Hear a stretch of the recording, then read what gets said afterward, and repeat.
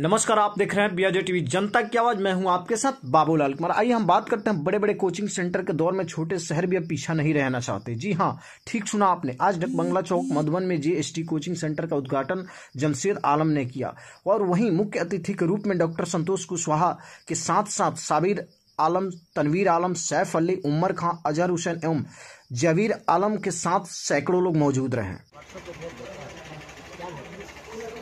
अभी मंच पे अपना तस्वीर ला रहे हैं डॉक्टर और इस मंच का खूबसूरती बढ़ाएँगे। और यकीनन यकीनन आप लोगों ने जो स्वागत किया, बिल्कुल सही ये कहा जाए तो दिलों को छू जाने वाली बात है, जो बिना बोले हुए शब्दों को समझ ले एक्चुअली में यही फीलिंग होता है। और शिक्षा को प्रमोट करने के लिए जो डॉक्टर साहब यहाँ पर जो तशरीफ़ लाए, ये बिल्कुल सही इस ट्यूशन का खूबसूरती बढ़ाने का एक अच्छा सा अपॉर्चुनिटी रहा। तो हम कह रहे थे आप लोगों के बीच कि विद्यार्थी, आप इतना ज़रूर टाइम दे दे अपनी किताबों पे कि उसे ड्यूटी कहा जा सके। विद्यार्थी का ड्यूटी होता है पढ़ाई करना। हम टीचर का ड्यूटी होता है पढ़ाना। कुछ वर्कर वर्कर का ड्यूटी होता है काम करना। डॉक्टर साहब आए उनका भी ड्यूटी है। ट्रीटमेंट करना। तो सब कहीं ना कहीं अपने ड्यूटी को फॉलो किया जा रहा है।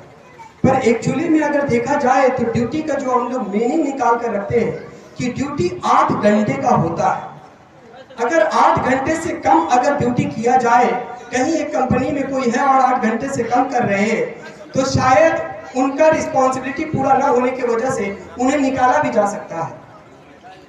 तो आप एक विद्यार्थी हैं और अगर आप अपना ड्यूटी ऑनेस्टली पूरा करना चाहते हैं, अपने माँ बाप को खुश करना चाहते हैं, उनके सपना को साकार करना चाहते हैं, सच में उनके दिलों को छूना चाहते हैं तो कम से कम आप अपना ड्यूटी आठ घंटा अपने किताबों में ज़रूर दे दें। तभी जाकर आप एक रियल स्टूडेंट बन पाएँगे। समझ में आए ना आए टीचर से संपर्क कर लेंगे। अगल बगल के जो हमारे आइडियल है, उनसे संपर्क कर लेंगे। पर कम से कम आठ घंटा देकर अपने आप को एक कर्तव्य स्टूडेंट के लिस्ट में अपने आप को दाखिल कर लेंगे। कम से कम आठ घंटा ज़रूर हमें करना तो सबसे पहले आप सभी के सामने सॉन्ग लेकर आ रही है, गजाला परवीन। जो आप सभी का मोहताज रहेंगे तालियों का और आप सभी के सपोर्ट का। जब आप सभी लोग उन्हें इनकरेज करेंगे, प्रोत्साहन करेंगे तो बिल्कुल वो आपके सामने एक अच्छा परफॉर्मेंस दे पाएँगे। और ये एक कला है और कला को निखारने का जो काम करे, उन्हें हम आर्ट और आर्टिस्ट कहते हैं। और आर्टिस्ट का काम हम सबों को, सबों के दिलों को छूना होता है और उन्हें हमारा कर्तव्य होता है प्रोत्साहन करना।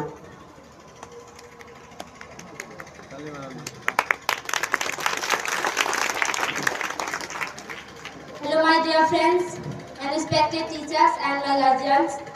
Good morning to all of you. Now I'm going to deliver a song but uh, before delivering I would like to introduce myself. It's me Gazala Parveen from Koilara.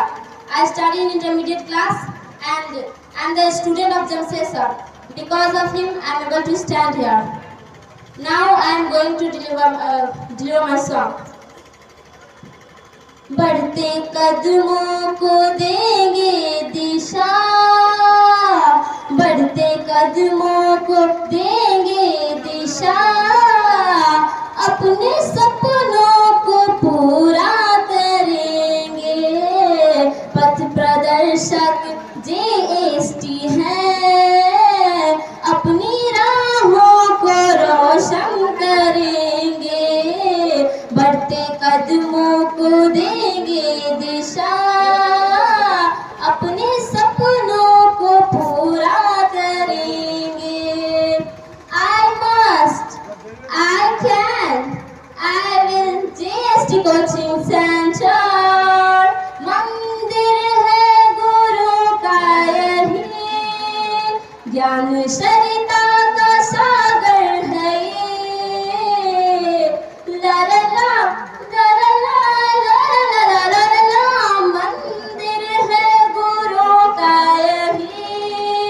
ज्ञान शरिता का सागर है ये।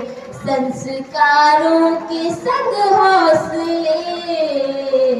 कामयाबी का उपहार देंगे। पथ प्रदर्शक जे एस टी है।